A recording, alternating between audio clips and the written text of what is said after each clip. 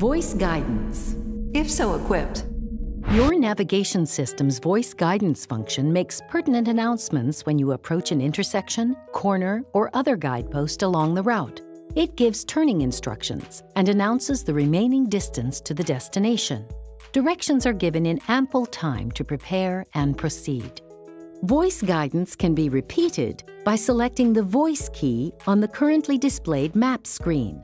To turn this feature on or off, touch Voice on the current map screen for approximately two seconds.